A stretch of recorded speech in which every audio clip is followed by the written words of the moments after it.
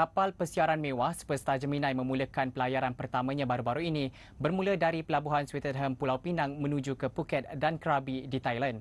Superstar Gemini melalui proses naik taraf melibatkan kos kira-kira 151.5 juta ringgit, memiliki 766 kabin penginapan mewah bagi menampung 1,532 orang penumpang pada satu-satu pelayaran. Ikuti pengalaman menarik wartawan Aimi Muhammad Yusof yang berpeluang mengikuti pelayaran itu. Kapal pesiaran seberat 50,764 tan itu tiba di Pulau Mutiara baru-baru ini dari pusat kapal pesiaran mewah Singapura bagi memulakan pelayaran tahunannya mengelilingi Asia. Ketua Pegawai Operasi Star Cruises William Eng berkata, Pulau Pinang akan menjadi pelabuhan utama bagi Superstar Gemini sepanjang Januari ini.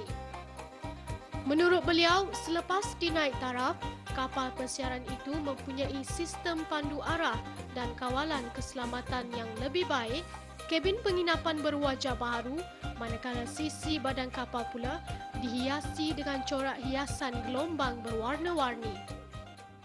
Star Cruises have had a lot of passion for Malaysia.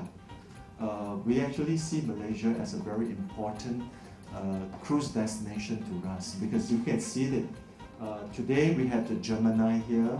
In fact, the other of our ship, the Superstar Virgo, we call into Penang every week. Uh, our ships call into Penang every week. So in terms of cruise tourism and the cruise economy, uh, I think we, we actually have, has been a very active contributor uh, to Malaysia in terms of the cruise business.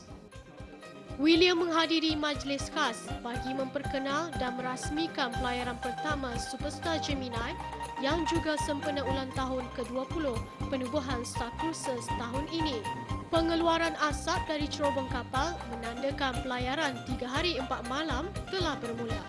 Destinasi pertama kapal itu adalah ke Phuket. Pada hari kedua pelayaran, penumpang berpeluang untuk singgah ke lokasi pelancongan itu di sana, mereka berpeluang melawat pelbagai lokasi menarik antaranya ladang ternakan lebah di Perasi, kilang pemasaran kacang jagus Seri Subalak dan juga kuil unik Wat Chai Tarara yang ada di kawasan peranginan itu. Selepas singgah ke Phuket, kapal itu meneruskan pelayaran dan tiba ke Krabi pada hari ketiga. Krabi yang terletak di Lautan Andaman menawarkan percutian menarik kepada pengunjungnya penumpang kapal berpeluang meluangkan masa kira-kira 6 jam melawat beberapa pulau dan pantai menarik sekitar Krabi.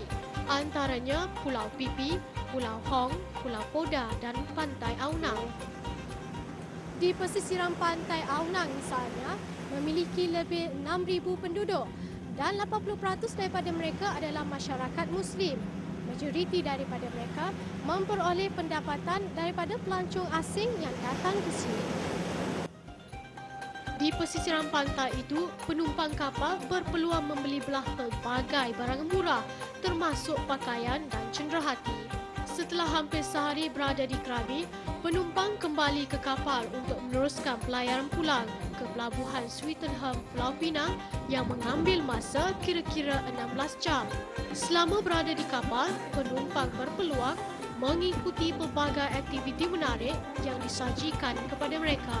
Antaranya, persembahan silap mata oleh ahli silap mata terkenal Mark Darcy bersantai di dek kapal sambil berhibur dengan aktiviti hiburan oleh kru kabin dan menikmati makan malam gala bersama kapten kapal.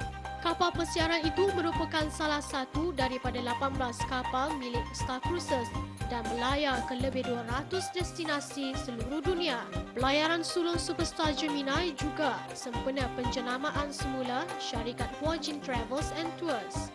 Berucap pada majlis pelancaran sulung tersebut, pengarah urusan Huajin Travel and Tours, Kenny Cheong Ken Lee berkata, pihaknya meraihkan kerjasama dengan Star Cruises bagi menawarkan percutian pelayaran terbaik di rantau ini. The most important is the maiden voyages. Voyages is very unique in this region. Seldom you, you get this, this kind of uh, opportunity. So uh, when we see this opportunity, first cross our mind is how we can get it to share this experience with our customer. This is the most important. Ah, so from uh, last year, we already planned for this. Okay, so the most important is the unique opportunity. Wajing menjadi penyewa pertama pelayaran sulung Superstar Gemini. Di antara 24 Januari hingga 1 Februari ini, kapal itu menawarkan pakej pelayaran istimewa selama 7 hari 6 malam dari Singapura menuju ke bandar Ho Chi Minh, Nha Trang dan Hong Kong.